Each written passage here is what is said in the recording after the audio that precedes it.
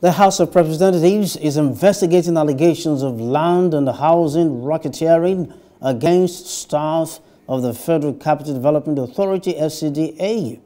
These include accusations of forgery and cloning of land documents, illegal and multiple allocations, as well as illegal revocation of titles.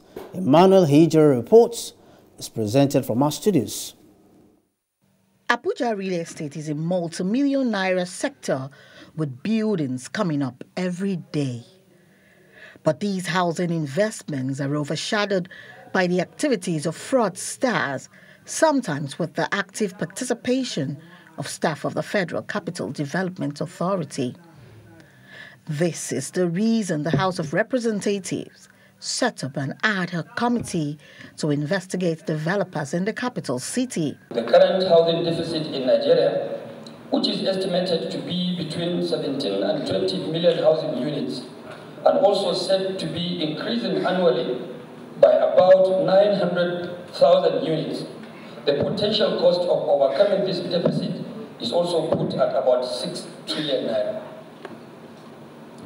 This, highlight, this highlights the huge opportunity that exists in the real estate sector.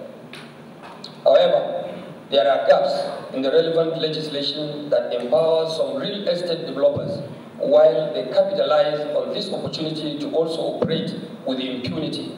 Work with relevant stakeholders and ministries, departments and agencies of government towards formulating laws issuing guidelines or other appropriate legislation and regulations for more than a trillion naira sector. The chairman of the Independent Corrupt Practices and Other Related Offences Commission is here at a sitting of the House Committee to submit petitions received against staff of the FCDA. Efforts should be made towards improving transparency in mass housing projects by providing workable evaluation mechanism to eliminate corruption generally that dog these schemes.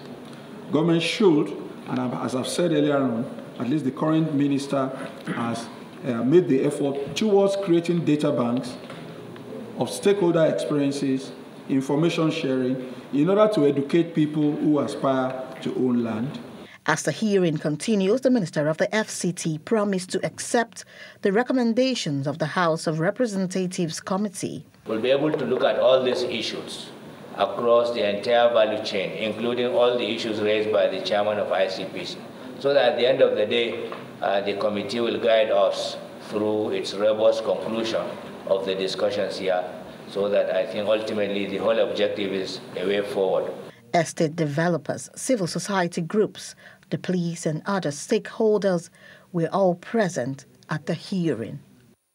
Hello. Hope you enjoyed the news. Please do subscribe to our YouTube channel and don't forget to hit the notification button so you get notified about fresh news updates.